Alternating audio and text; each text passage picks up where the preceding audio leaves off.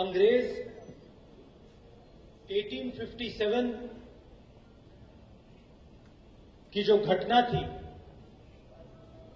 उसको म्यूटिनी कहते थे। और हम उसको फ़र्स्ट वॉर ऑफ़ इंडिपेंडेंस आज़ादी की पहली लड़ाई कहते हैं। 1857 में पहली बार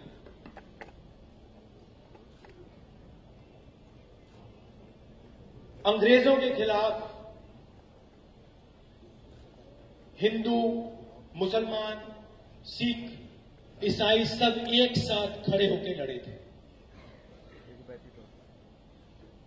हिंदुस्तान का एक विजन बना था, भाईचारे का, दोस्ती का, मित्रता का, एक साथ चलने का। कुछ साल बाद साउथ अफ्रीका में गांधी जी कोर्ट केस लड़ने गए।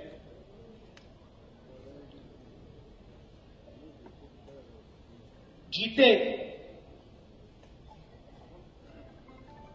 और उनको एक बात गहराई से समझ आई। सत्ता में और सच्चाई में फ़र्क हो सकता है।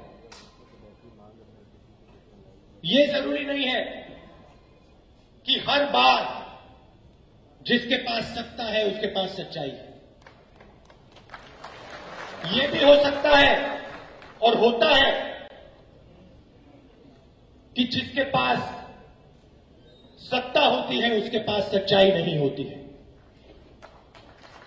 और ये बात गहराई से गांधी जी समझे और यहाँ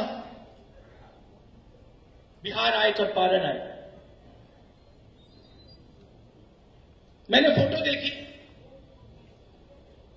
साउथ अफ्रीका में महँगा सूट पहनते थे।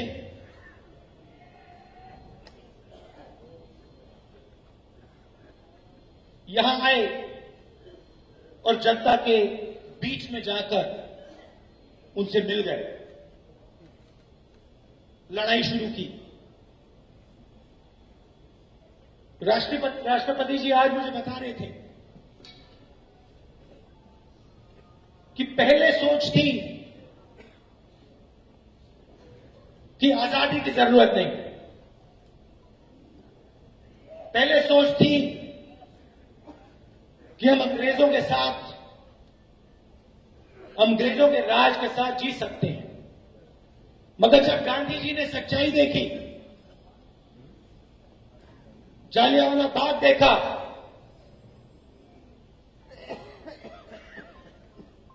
तो उन्होंने अपना मन बना लिया, आज़ादी के बिना हिंदुस्तान आगे नहीं जा सकता है।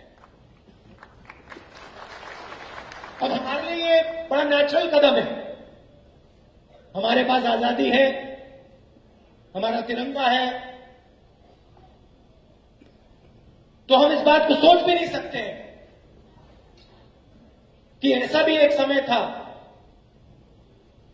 जब हिंदुस्तान के लोग कहते थे कि हाँ, हमें थोड़े और राइट्स दो। मगर हम आपके साथ, आपके राज के साथ हम जी सकते हैं। मैं आपसे सवाल पूछना चाहता हूँ। जालियावाला बाग में क्या हिंदू मरे थे?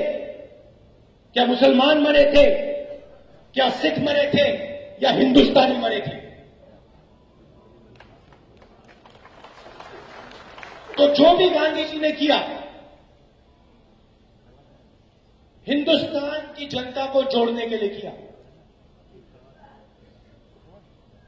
हिंदू, मुसलमान, सिख, ईसाई, हर जात के लोगों को जोड़ने का काम किया।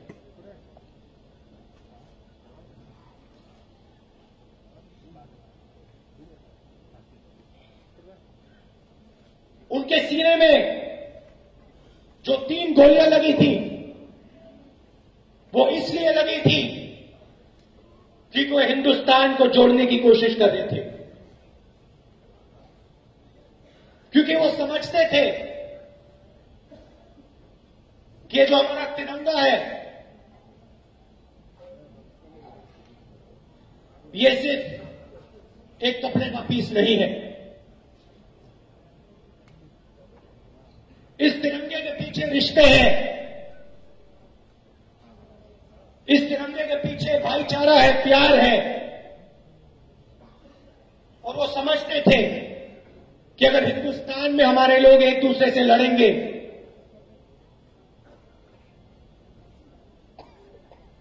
तो जल्दी से ऐसा समय आ जाएगा जब ये तिरंगा हमारे देश के ऊपर नहीं लहराएगा।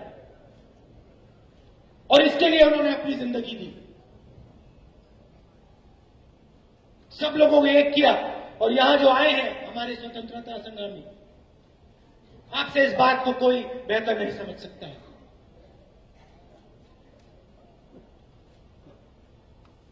आपकी एज हो गई है। आप दिख रहे हो कम से कम 80-90 साल के हो।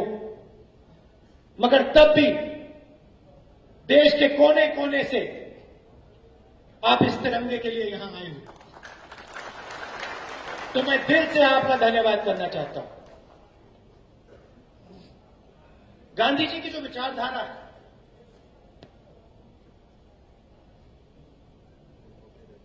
वो नई नहीं है।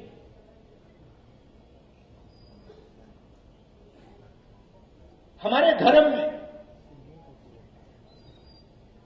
गीता में, उपनिषद में सच्चाई के बारे में लिखा हुआ है।